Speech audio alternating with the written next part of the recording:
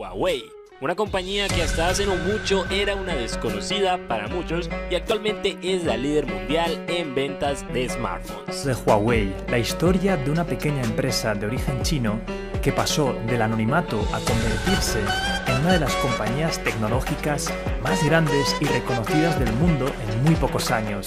Huawei, la compañía china de telecomunicaciones, dijo que espera informar un aumento del 21% en sus ingresos para llegar a 109 mil millones de dólares en 2000. Huawei es una de las marcas más importantes en el mercado de la telefonía móvil. Actualmente, de hecho, es la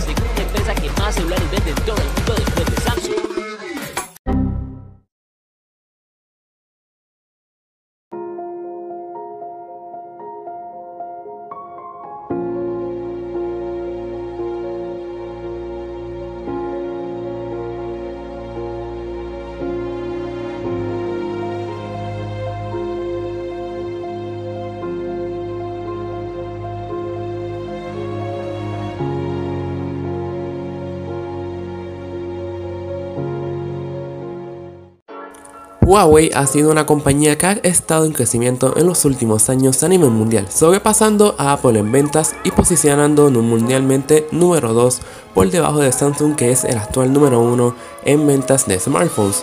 Pero en los últimos días, y ya muchos deben de saberlo, pero para darles un resumen, hemos visto la problemática en la cual se encuentra actualmente la compañía Huawei debido a que el gobierno de Estados Unidos por parte de Donald Trump pusiera a Huawei en una lista negra.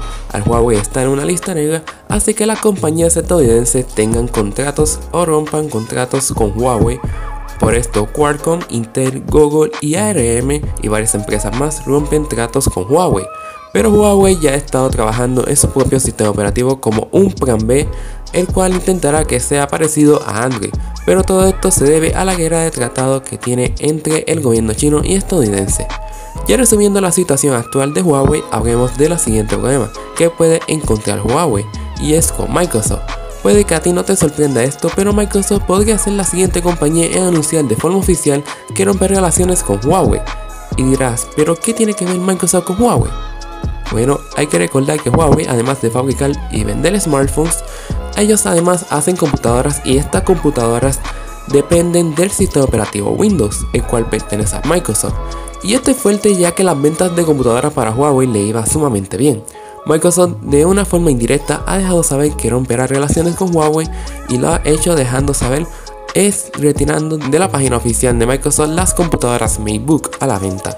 Ningún link funciona para entrar a la página, han eliminado cada una de las publicaciones de los productos Huawei y repetimos que aún Microsoft no ha hecho declaraciones oficiales hasta la fecha ante la situación de Huawei, pero no dudo que en algún momento lo haga oficial.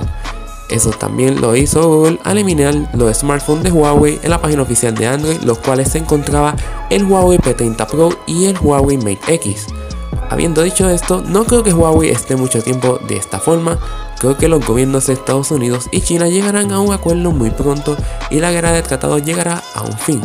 Y hasta aquí el video de hoy, si les gustó el video regálame un gran like, suscríbete al canal y comparte este video con tus amigos. Y nos veremos en la próxima.